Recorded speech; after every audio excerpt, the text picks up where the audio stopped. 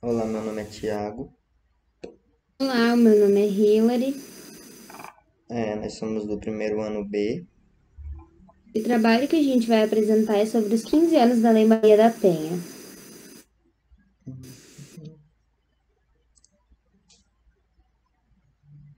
Bom, o que é a Lei Maria da Penha? A lei define a violência doméstica contra a mulher como crime e aponta formas de prevenir, enfrentar e punir as violações.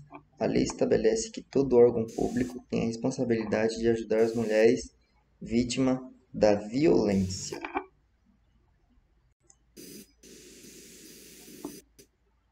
O que mudou com a criação dessa lei?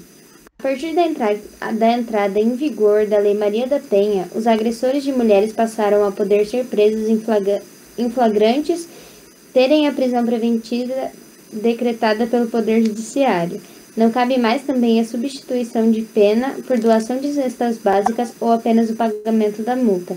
Ou seja, o agressor ele tem que cumprir a, a pena completa dele. Até antes da promulgação da lei, o crime de violência contra a mulher era considerado de menor potencial ofensivo, ou seja, era considerado como um crime, um crime leve.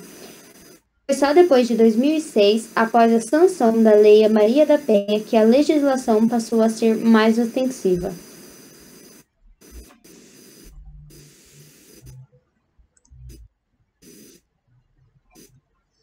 Bom, quando ela pode ser aplicada? Se a vítima tem ou já teve vínculo afetivo com o agressor, seja ele um ex-namorado, marido ou até amigo, a situação está dentro da Lei Maria da Penha, inclusive casos de difamação e injúria na internet ou chantagens por mensagens de celular também estão contextualizadas para, pela lei. Isso aqui eu achei engraçado porque. Engraçado não, interessante na verdade, porque pra mim era só agressão por físico, entendeu? Aí a gente pesquisou e a gente descobriu também. Bom, eu, eu descobri que também é por rede social e, tipo, fazer chantagem também se cabe como Maria da Penha.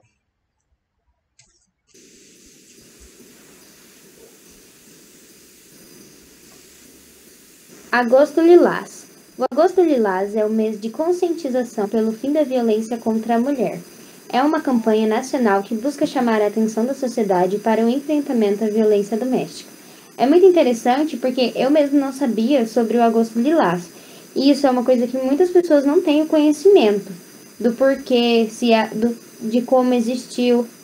É, a escolha do mês tem relação com a data de sanção da Lei 11.340-2006, conhecida como Lei Maria da Penha, que completou 15 anos no dia 7 de agosto. A, além de esclarecer de, diversa, de diversas formas de violência doméstica, o Agosto Lilás também fomenta debates sobre os direitos das mulheres e sobre a igualdade de gênero. O objetivo é trazer visibilidade ao tema e ampliar os conhecimentos sobre os dispositivos legais existentes e como auxiliar as vítimas. Ou seja, o Agosto Lilás, como assim todos os outros meses, como o Setembro Amarelo, são, é um mês também de, de conscientização sobre o, os direitos das mulheres, o que pode acontecer, o que não pode. É o objetivo, como ali fala, o objetivo é trazer visibilidade ao tema. Porque muitas pessoas desconhecem disso, desconhecem dos seus direitos. Muitas pessoas hoje em dia, ainda sendo, mesmo sendo uma coisa tão comentada, algumas pessoas ainda não sabem o que é a Lei Maria da Penha.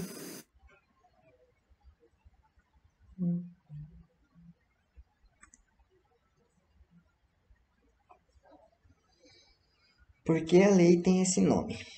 Bom, o nome da lei homenageia Maria da Penha, que sofreu tentativa de feminicídio em 1983, ficando paraplégica até 1998. O agressor de Maria da Penha continuava em liberdade e o caso ganhou repercussão internacional e foi denunciado à Comissão Interamericana de Direitos Humanos da Organização dos Estados Americano, Americanos, a OEA recomendou não apenas que o Brasil desse seguimento à devida punição do agressor da Maria da Penha, como prosseguisse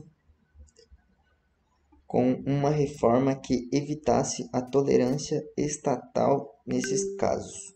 Sem medidas legais, feministas criaram a primeira versão dessa lei em 2012. É... Se a Maria da Penha não sofresse, bom, se não sofresse não, se não tivesse ganhado repercussão e se não fosse algo que o povo generalizasse, tipo, fosse como normal, ah, hoje poderia não ter essa lei, entendeu? Ela poderia, tipo, não valer hoje e, tipo, a violência contra as mulheres podia crescer muito mais, muito mais. Graças a ela. A história da Maria da Penha é muito importante porque ela trouxe a visibilidade para muitas mulheres do Brasil. É, a Maria da Penha, ela foi, ela levou um tiro de espingarda do marido dela. E ela sofreu com isso várias e várias vezes, não foi uma ou duas agressões, foram várias vezes. E quando ela decidiu que ela poderia poder, que ela poderia denunciar isso, foi eles meio que negaram ela. E isso é muito difícil ainda hoje em dia porque por mais que tenham tantos e tantos casos de mulheres que denunciam no que ligam e acessam a Lei Maria da Penha, são muitos números, é, são gigantescos os dados, mas ainda assim tem muitas mulheres que não conseguem denunciar, que não têm coragem, têm medo do agressor e acontece muito isso hoje em dia. E durante a pandemia, Muitos dados aumentaram justamente por causa disso, por não poder sair de casa, por ter que ficar dentro de casa talvez com seu agressor, e isso aumentou muito. Mas a falando também, né, do agosto lilás, é muito importante porque ele pode conscientizar essas mulheres que ficaram tanto tempo presas dentro de casa. É, é uma coisa muito boa.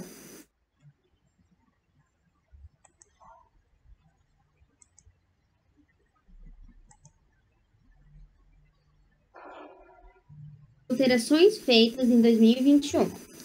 Publicado no Diário Oficial da União no dia 29 de julho, a Lei 14.188-21 incluiu no Código Penal o crime de violência psicológica contra a mulher, com punição de seis meses a dois anos de prisão e multa, e alterou a Lei Maria da Penha para possibilitar o afastamento imediato do agressor do lar em caso de ameaça à integridade psicológica e não apenas física, como a lei previa antes, antes da mulher em situação de violência. Ou seja, com, com essa inclusão desse código, no Código Penal, muitas mulheres, porque talvez existem situações que a mulher ela não, não ocorre a agressão física, mas às vezes pode ocorrer a, a agressão psicológica, né?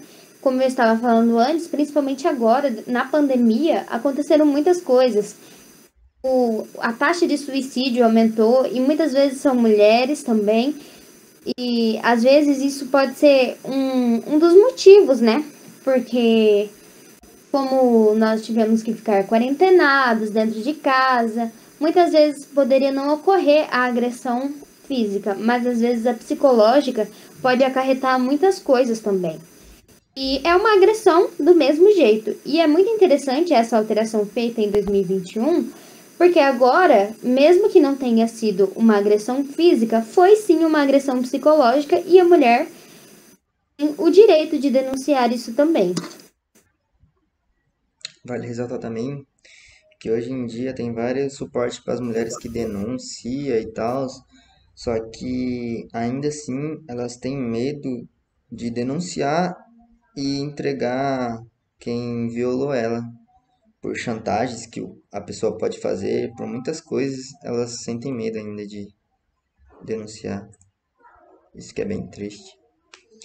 Bom, a punição. Se a violência ocorre no ambiente doméstico, a pena passa-se a de, de ser de três meses a três anos, contra seis meses a um ano anteriormente uso de tornozeleiras eletrônicas, vedação de nomeação para cargos públicos e eleitivos, suspensão da posse, da restrição do porte de armas e outros, outras punições também.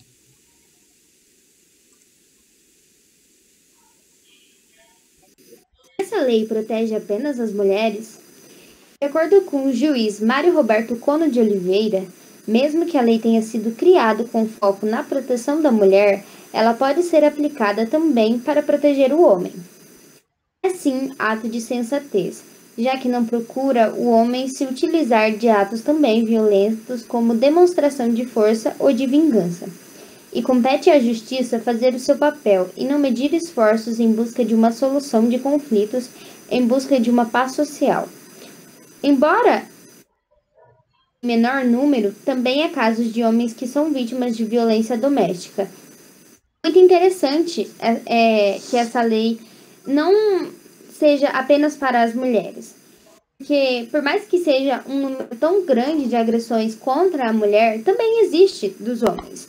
Só que muitas vezes as pessoas ela não têm esse conhecimento de que a, a lei ela protege o homem justamente por causa do nome. Mas o nome é uma parte muito interessante, porque foi a Maria da Penha, ela foi uma pessoa muito importante na história da mulher. Porque isso é uma conquista pra, para as mulheres poder denunciar, poder ser voz no povo, entre outras pessoas. E as pessoas ela têm que ser mais conscientizadas de que também é um direito do homem é, poder denunciar que a, essa pessoa, se, seja ela uma mulher ou um homem, que ela tenha a punição certa dela, porque isso não, não é certo. Ou seja, tem que agir de acordo com a lei. Isso é bem interessante mesmo, porque até eu não sabia que tinha para homens.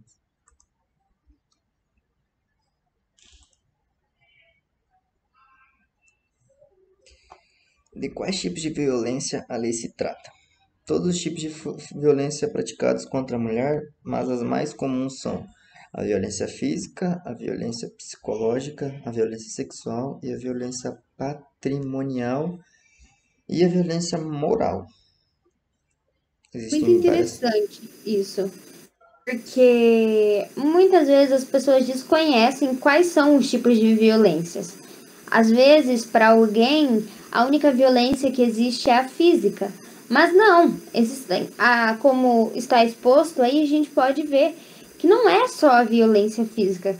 É, existe a violência psicológica, que ela pode não deixar uma marca física, mas é uma coisa que vai marcar na sua vida e pode acarretar em muitas coisas no futuro. A violência sexual também, que acaba sendo psicológica. A violência sexual, ela é um pouco, ela é física e psicológica.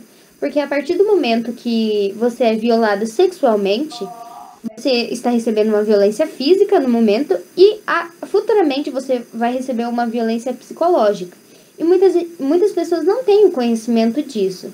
Ou seja, é muito importante que as pessoas saibam quais são os tipos de violência, se para que ela possa identificar se na vida dela ocorre algum tipo de violência.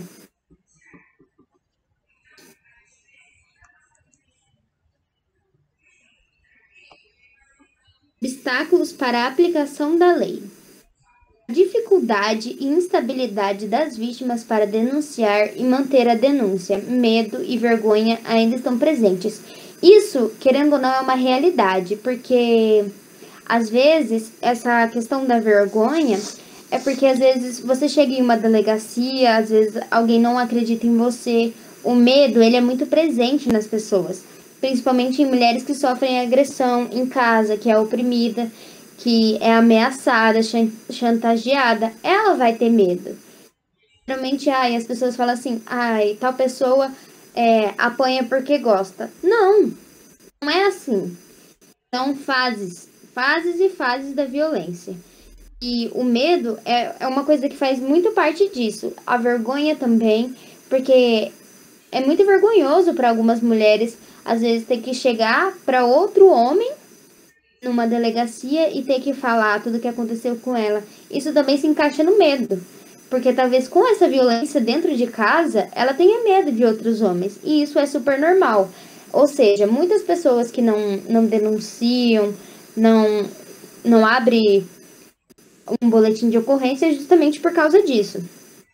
Aqui também é a incompreensão e a resistência de alguns agentes públicos responsáveis pelos atendimentos e encaminhamentos. Isso também está na nossa realidade e querendo ou não, não, nós não temos as melhores leis no país, a melhor segurança, ou seja, os atendimentos às vezes podem acabar piorando a situação. Ou seja, às vezes você pode ir lá denunciar e acontecer alguma coisa ainda com você, alguém, alguma piadinha, alguém duvidar de você. E isso é muito chato e isso acaba desencorajando a mulher. É, a precariedade das redes de enfrentamento e atendimento, que realmente é a nossa realidade também, porque nós não temos as melhores estruturas para isso mas é uma coisa que nós temos que melhorar com o tempo e conscientizar muito mais. Falta de apoio efetivo para as vítimas no âmbito privado e público e de programas de atendimento ao agressor, o que eleva os índices de reincidência. É muito importante, pois é o que falta, né? E essas mulheres, esses homens também, né? Que, ah, como nós vimos anteriormente, os homens também sofrem com isso é um número menor, mas existe. E que deve ser conscientizado sobre isso, porque existem muitas pessoas que não sabem. E que isso precisa ser realmente um assunto debatido no dia a dia e deve ser levado ao público, porque é muito importante. Esses são um dos principais obstáculos para a aplicação da lei.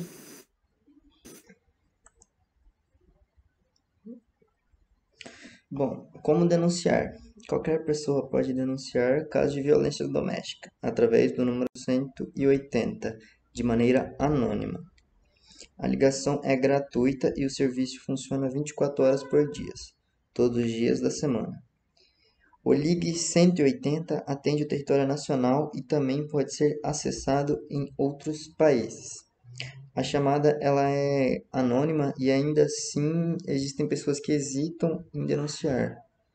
Em casos também deve ser porque a mulher ela deve em situações pode ter filhos com o marido e o marido agredir ela e o filho não ter consciência ainda de ajudar a mãe.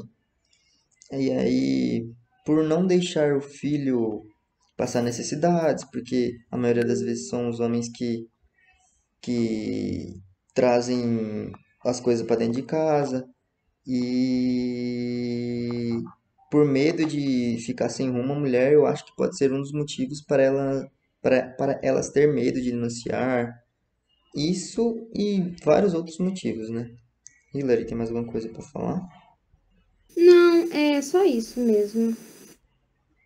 É, esse foi o nosso trabalho? Esse foi o nosso trabalho. É, aqui nós vimos durante o trabalho quão importante é e que as pessoas saibam. Com esse trabalho, nós tivemos muito conhecimento de coisas que nós nunca tínhamos visto, como a inclusão do homem também na lei, o agosto lilás, que é bem interessante também, e que isso possa ser mais conscientizado no dia a dia, porque muitas pessoas desconhecem da maioria dessas informações. Então são coisas que devem ser mais expostas. É isso. É isso, obrigado.